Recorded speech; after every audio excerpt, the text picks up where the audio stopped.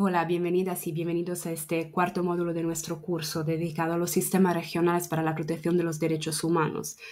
Claramente son sistemas eh, a protección de los derechos humanos en general eh, que eh, pueden tener una relevancia con respecto a cuestiones relacionadas y vinculadas con los derechos de los pueblos indígenas. En particular, en este vídeo intentaremos tratar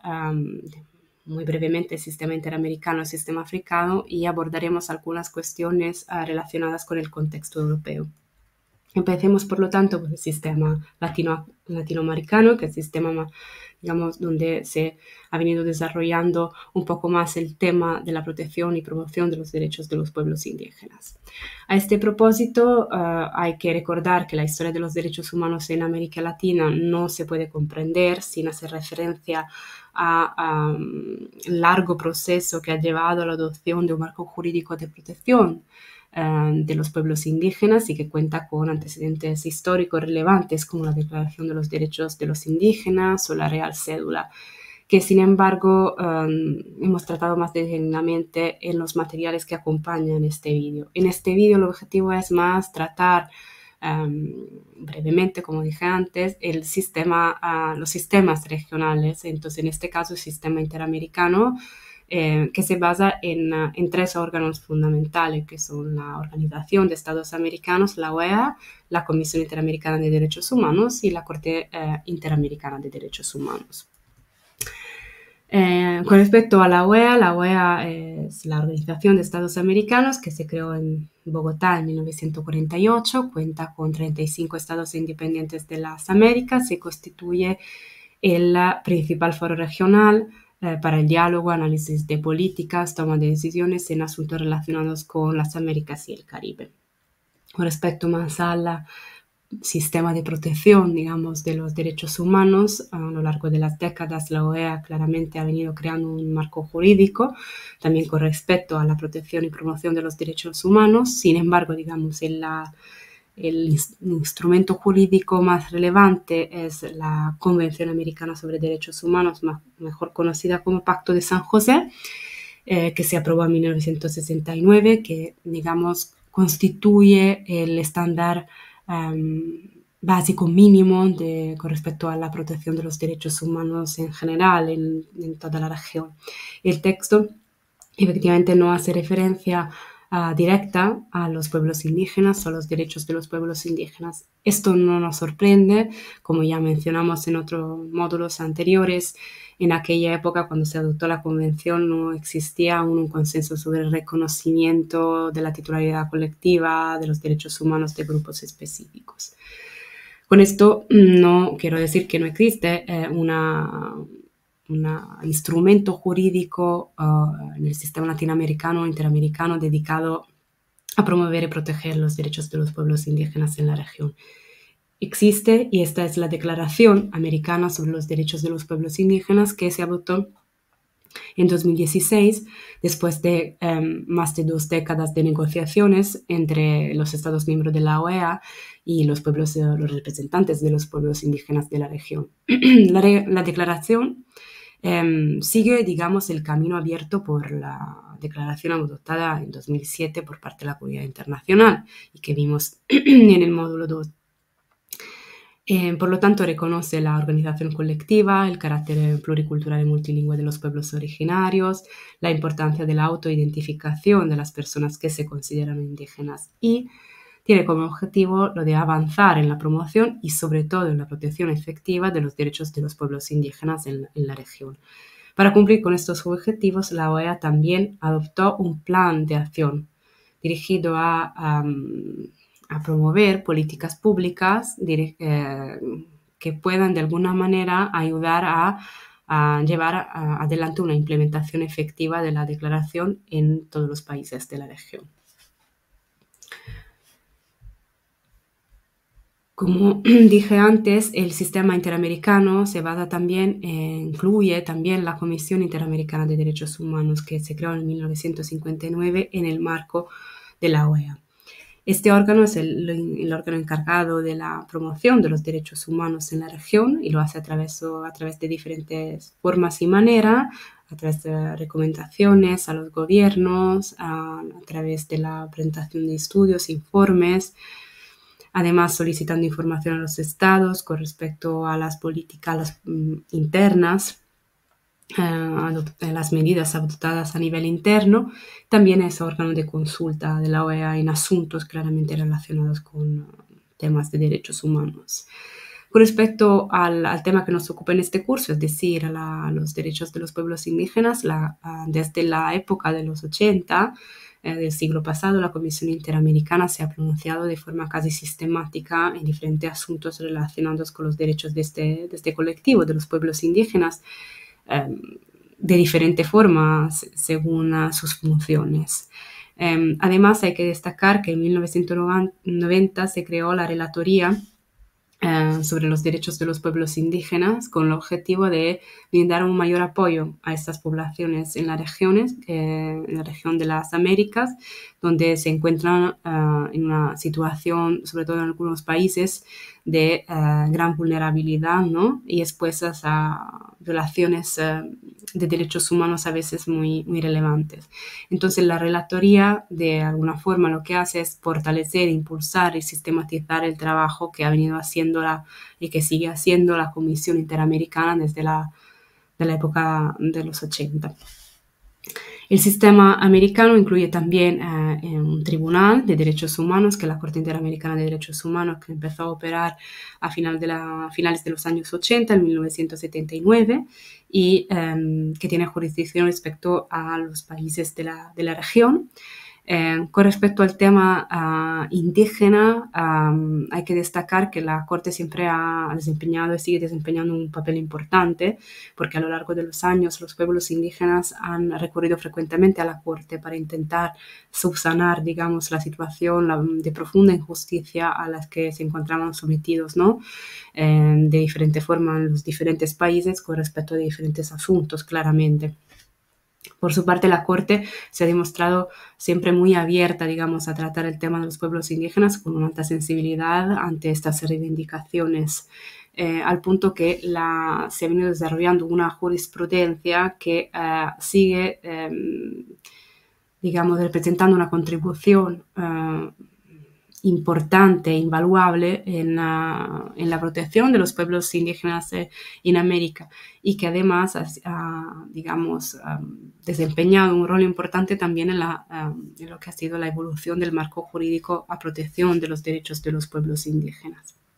Esto, por lo tanto, es una breve introducción a lo que es el sistema interamericano y eh, lo que eh, se puede mencionar así eh, con respecto al, tema de la, de, la, promoción y protección de los derechos de, de los pueblos indígenas, que claramente se encontrará más, más, desarrollado en los materiales que acompañan el vídeo.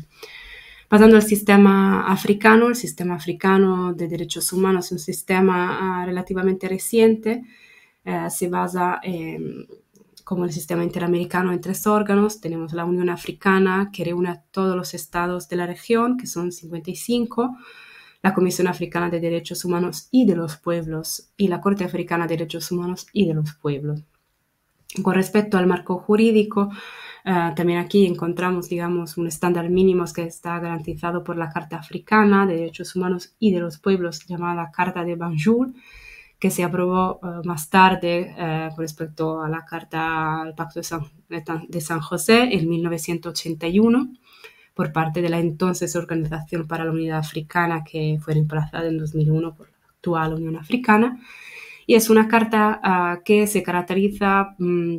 por ser un poco fruto de, una época diferente respecto a la, la, época en que se adoptó el Pacto de San José, ya que la carta contempla tanto derechos individuales como derechos colectivos. Y de esta manera lo que se intentó hacer en esta carta fue lo de integrar la tradición más occidental, ¿no? de la herencia común de los derechos humanos con las tradiciones africanas que suelen tener un matriz común y comunitario colectivo. ¿no? Y efectivamente la, la, carta hace referencia a la noción misma de pueblo y eh, la misma Comisión Africana y la Corte se definen como Comisión y Corte Africanas de Derechos Humanos y de los Pueblos. Todos los estados miembros de la Unión Africana, entonces todos los 55 estados de la región, están obligados a garantizar los derechos contemplados en la Carta están sometidos a, un procedimiento de supervisión y control por parte de los órganos, de los dos órganos que acabamos de mencionar, es decir, la Comisión y la, y la, y la Corte Africana, que sin embargo, como veremos, tiene algunas limitaciones. Con respecto al tema indígena, eh, la Comisión eh, en 2001 estableció un específico grupo de trabajo dedicado a las poblaciones y comunidades indígenas que eh, tienen, digamos, el objetivo de promover los derechos de los pueblos indígenas en la región africana. En el 2003, este grupo además publicó un informe que sigue representando no solamente la posición oficial de la Comisión Africana con respecto a los derechos de los pueblos indígenas, sino también la de la Unión Africana, ¿no? Eh, ya que en este informe eh, lo que eh, se define es el concepto de, pueblos, de pueblo indígena de cara, digamos, a la comunidad africana y el catálogo de los derechos de los pueblos indígenas en África. Eh, además, con respecto a la comisión y sobre todo con respecto al trabajo que ha venido haciendo en los últimos 20 años, dos décadas, el, grupo de trabajo, hay que mencionar que en 2020 em, el mandato del grupo ah, no solamente se renovó, sino también se amplió para incluir también la, los derechos de las minorías. Por lo tanto, ahora el, grupo ha sido nombrado como un grupo de trabajo sobre poblaciones, comunidades indígenas y minorías en África. Y em, sigue llevando a cabo investigaciones y, y sigue también ofreciendo recomendaciones a los estados para abordar los diferentes desafíos que enfrentan las comunidades indígenas y también las minorías desde el 2020 en el territorio africano. Por otra parte, como mencionamos antes, eh, el sistema africano cuenta con una corte que es el brazo judicial de la Unión Africana y es la Corte Africana de Derechos Humanos y por lo tanto su objetivo principal sería lo de proteger los derechos humanos eh, y entonces también los derechos de los pueblos em, eh, en la región africana. Sin embargo, eh, como mencioné antes, la Corte tiene algunas limitaciones dadas por, la, por el hecho que solamente ocho estados de la Unión Africana han aceptado la competencia de la Corte. Por lo tanto, esta tiene, digamos, una limitada capacidad capacidad para atender los casos que, que se presentan ante, ante este órgano judicial. Con respecto a, las cuestiones indígenas, claramente en, su, ah, en, sus, en, sus, casos la Corte ha tratado varias veces el tema, uh, la cuestión del, más de la cuestión indígena, la cuestión de los derechos de los pueblos indígenas. Uh, un ejemplo ha sido, por ejemplo, una pronuncia, un fallo del 2000. 17, en que la Corte Africana eh, estableció oh, la necesidad de reparar a los pueblos indígenas Ojik por los prejuicios sufridos a causa de las injusticias y la discriminación uh, operadas por parte del gobierno, gobierno de Kenia. Esto digamos como un ejemplo de ah, de fallo de la Corte relacionados con la, con la protección de los indígenas en el territorio africano. Por último, como dije eh, al comienzo, vamos a tratar algunos aspectos relacionados con el contexto eh, europeo, no tanto el sistema regional de protección de los derechos humanos en,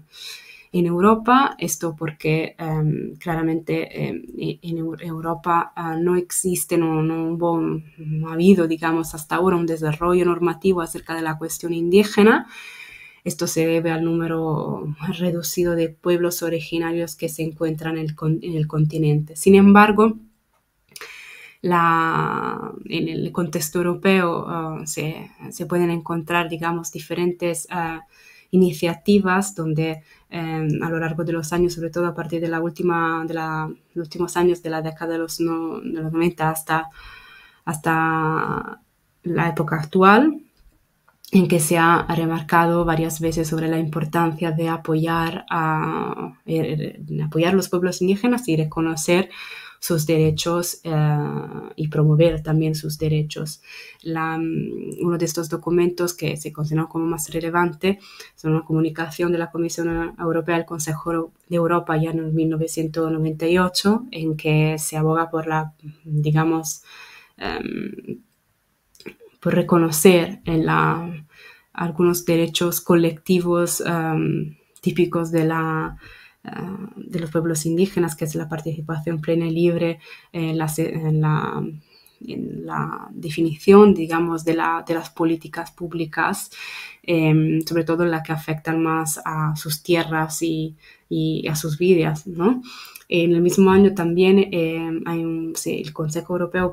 aprobó una resolución muy relevante en que em, se reconoció que la cooperación, el apoyo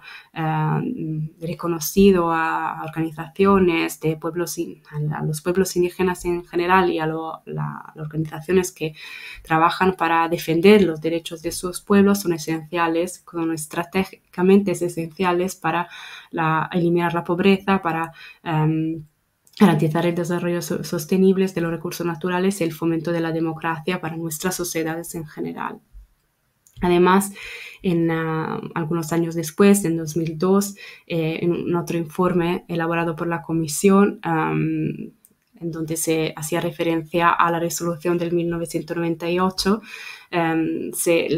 se, instaba a las instituciones europeas a integrar las cuestiones relativas a los pueblos indígenas en sus políticas, en sus iniciativas, en sus metodologías de trabajo. Eh, en 2014, el mismo Parlamento Europeo eh, empezó a poner de manifiesto eh, o a mencionar por lo menos los riesgos que em,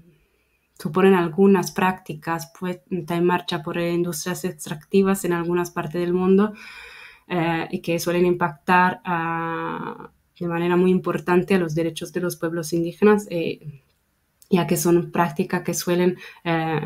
recaer de maneras cuyos efectos suelen recaer de manera desproporcionada, sobre todo cuando se trata de extracción de minería, petróleo y gas, los que es la, la vida de los pueblos indígenas que está ah, fuertemente vinculada a sus tierras.